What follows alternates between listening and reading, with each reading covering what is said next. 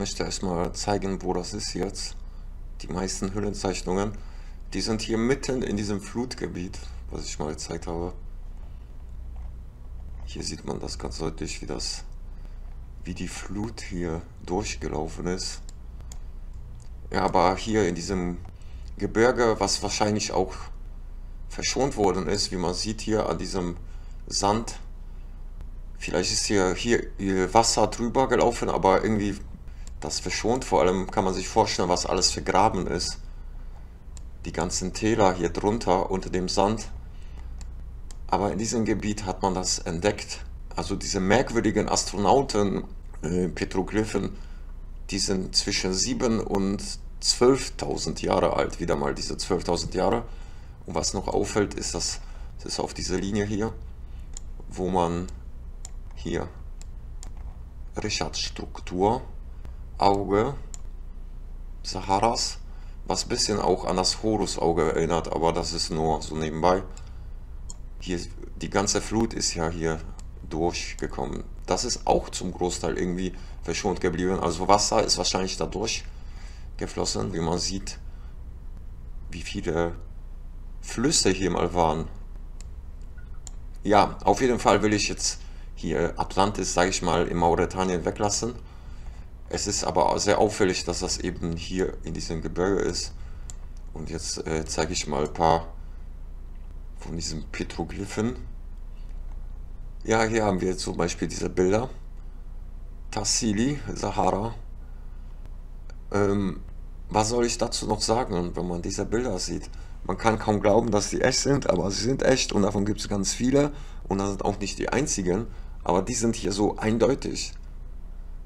Und da fragt man sich, waren das die ersten, die, die vor 12.000 Jahren direkt nach der Katastrophe gemacht worden sind?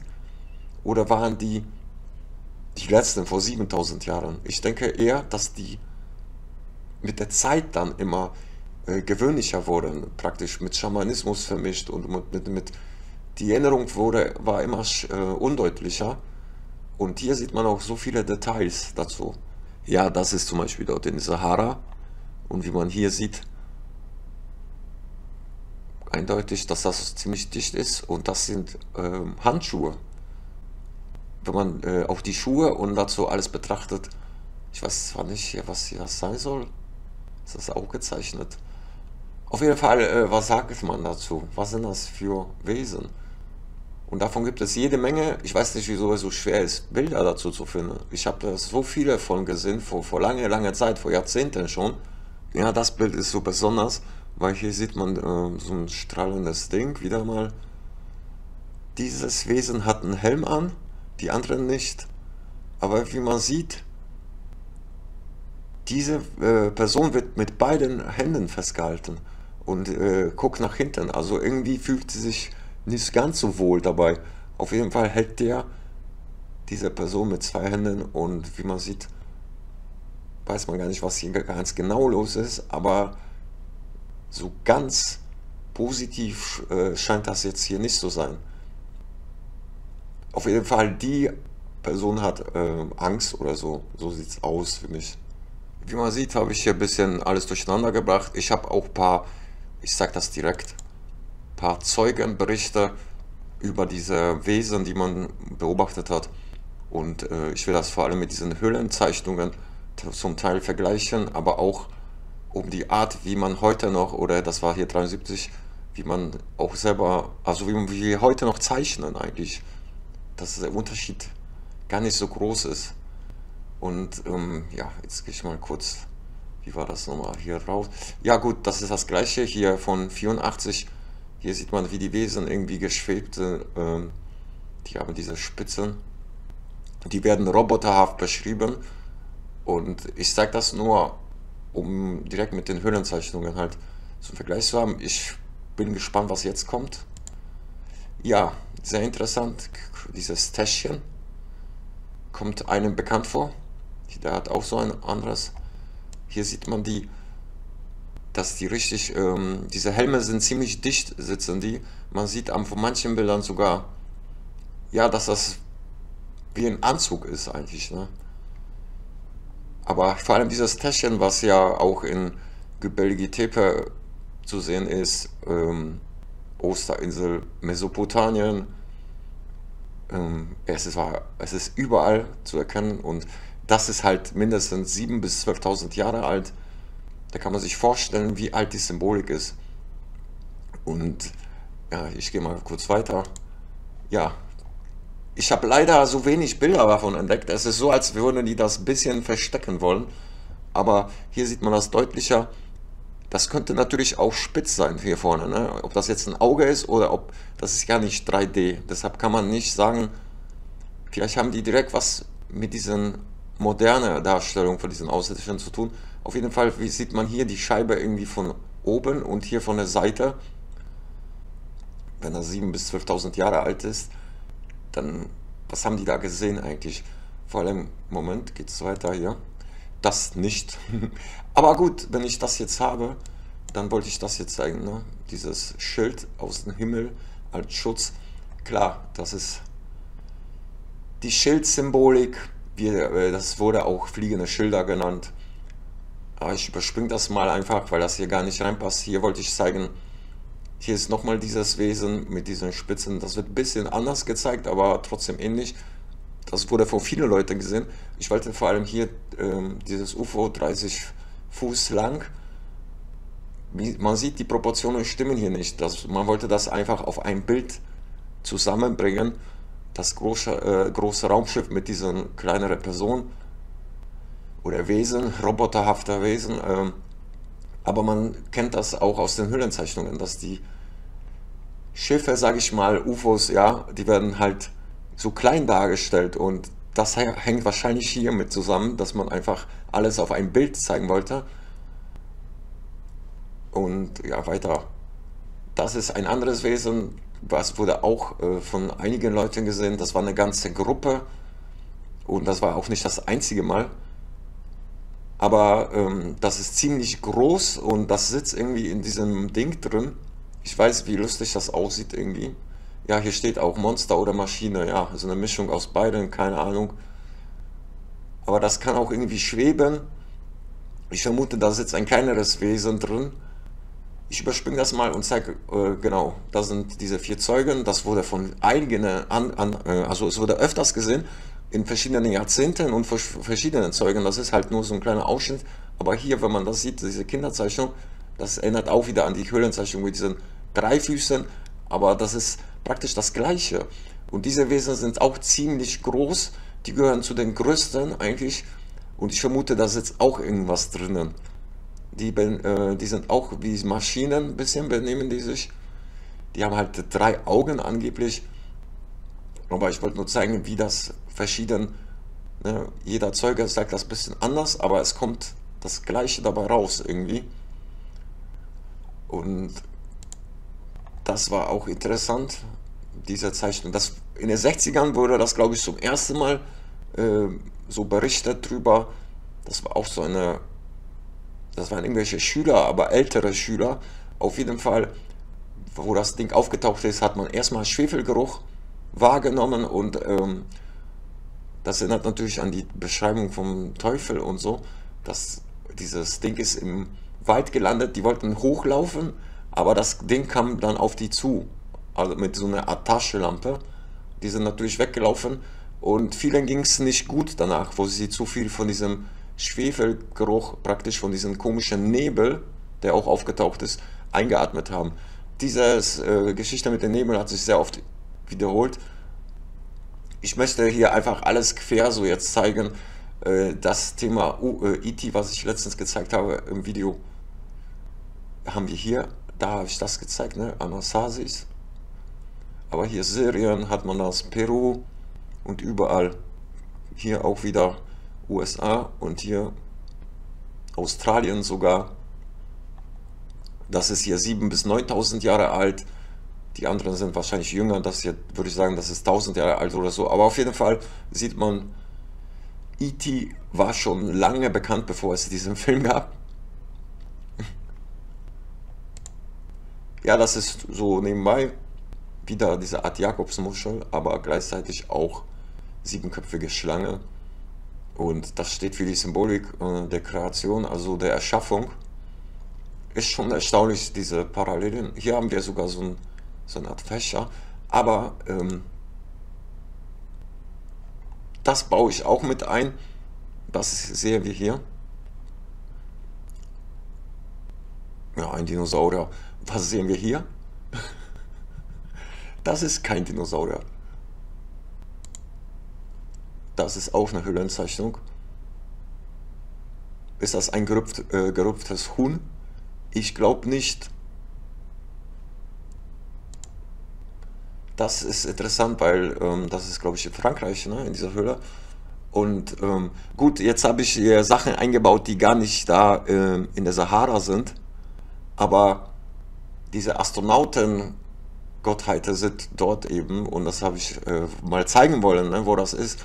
Das ist aber hier in Frankreich. Wir sehen einen Vogelmann, der auch auf der Osterinsel ist. Der ist auch äh, Ge äh, geböllige Tepe dort auch vorzufinden. Den findet man überall, auch in Ägypten. Vogelmann, der wurde hier irgendwie, sieht aus, als hätte der von dem Stier eine verpasst bekommen. Aber das habe ich nur hier jetzt gezeigt, weil das Bild kam. Also, sorry, aber das ist das typische Chaos bei mir. Äh, Nochmal so eine Höhlenzeichnung, diesmal von den Indianern. Was sehen wir hier? Dinosaurier. Natürlich, ich lasse das gerne weg. Ich zeige das nur nebenbei, weil ich möchte nicht völlig unglaubwürdig werden. Aber ich weiß, dass die Dinosaurier, das ist gar nicht so lange her. Ja, nur zur Erinnerung, dieses Täschchen, was man hier, wie man sieht, auch die Mayas hatten das. Azteken, hier nochmal, das sind auch Azteken, das sitzt sogar in dieser Schlange drin, wie so ein, ja, das ist so eindeutig, der hat auch so einen Helm an und hält das Täschchen. Ja, der Vogelmann hier hat auch ein Täschchen, da haben wir wieder diesen Vogelmann, da auch. Die haben vier Flügel sogar, so wie die Cherubims beschrieben werden. Ja, was sind diese Täschchen und wieso hat man die schon vor mindestens 7000 Jahren? Quatsch, Göbekli Tepe hat die Täschchen und das ist mindestens 12.000 Jahre. Also die Gottheiten hatten diese Täschchen mit.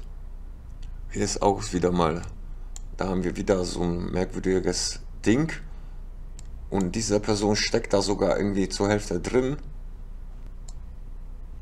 Dann frage ich mich auch, was das hier sein soll, ne? ehrlich gesagt, weil diese Tiere sind ganz normal gezeichnet, aber das hier, dieses Wesen, genau wie das hier, da reitet jemand sogar drauf. Frag mich echt, was das ist, aber hier haben wir so eine Jakobs, Jakobsmuschelform und das ist einfach, ähm, wollte ich nur kurz zeigen, weil das sich sogar auf so uralten Bildern schon wiederholt. Hier haben wir wieder, das ist jetzt nicht äh, aus der Sahara, das ist, würde ich sagen, irgendwo aus Arizona, so die Ecke, aber was ist das für ein Wesen hier, ne? Der hat irgendwie zwei Hörner oder so. Aber hier diese Zacken, was haben die da gesehen, frage ich mich einfach. Ja, das ist auch nochmal hier das Original, das ist ein bisschen überzeichnet, damit man es deutlicher sieht, aber da brauche ich eigentlich gar nichts mehr zu sagen. Nur, wir wissen, das ist hier äh, von den Indianern und ähm, das ist auch in der Nähe von einem See und es gibt Geschichten dazu, dass in diesem See noch vor gar nicht so langer Zeit so ein großes Vieh gelebt hat. Ich weiß es nicht, aber wo kommen die Geschichten her? Wieso zeichnen die sowas? Aus der Fantasie raus. Die Zeichnungen sind alle so alt, zu dieser Zeit gab es noch gar keine Rekonstruktionen, äh, Rekonstruktionen. Ihr wisst schon, was ich meine. Ich glaube, ich habe sogar richtig gesagt beim ersten Mal. Ja, bevor ich da rumstöber, ich habe ne, gar nicht so viele Bilder, weil wenn man das eingibt, sieht man, dass es irgendwie wenig von dieser Art Bildern gibt. Hier, wenn schon, dann immer das gleiche. Hier. Und davon gibt's, gab's ganz viele. Aber ähm, ich wollte nur zeigen, eben das hier zum Beispiel, das mit dieser Täschchen, ähm, davon gibt es jede Menge, wo man sich fragt, was haben die damals gesehen und wieso haben das spätere Kulturen auch immer wieder gezeigt? Die gleichen Gerätschaften wie diese Täschchen, äh, auch diese fliegenden Scheiben oder hier diese strahlenden Dinger, die vom Himmel kamen, ob Stupas oder hier später auch im Christentum hat man immer wieder ähm, diese strahlenden Gerätschaften oder später wurde das so eine Art Wolke. Aber auf jeden Fall fliegende Wesen, die auch äh, leuchten und strahlen und ihre Geräte können irgendwas verschießen. Die konnten auch irgendwie Krieg führen. Das hat man allein schon in diesen Zeichnungen, Gemälden und auch hier Höhlenzeichnungen, man hat das mindestens die letzten 12.000 Jahre durchgehend äh, gleiche Symbolik weltweit gezeigt. Also das ist so eindeutig dann, dass hier auf jeden Fall das real war. Wenn man das hier sieht, okay, das sind okay, diese strahlenden Helme. Aber hier als Beispiel hier Wikipedia klicke ich einfach und ähm, gerade das hier habe ich auch in der Hüllenzeichnung gesehen. Wie diese fliegende Stadt oder was soll das sein? Oder ja, Sonne, wie auch immer. Jeder sieht da was anderes drin. Aber wir haben wieder diese äh, Barken, fliegende Schiffe, wo Wesen drin sitzen. Da haben wir Dogon, diesen Fischgott, der auch schon, der Papst trägt, trägt auch so eine Mütze. Äh, das ist äh, eigentlich unglaublich, dass das so lange Zeit durchgehend am Leben erhalten geblieben ist praktisch und ähm, ja, ein bisschen mehr im Verborgenen zwar, aber auch nicht so, dass das jetzt schwer äh, zu entdecken wäre, ne, ist. Könnte jeder äh, selber nachprüfen. Ja, das ist halt der japanische IT-Figur. Gut, dass sie hier vorbeikommt, weil ich habe die gespeichert, aber jetzt hätte ich die vielleicht vergessen zu zeigen, wenn die nicht hier wäre.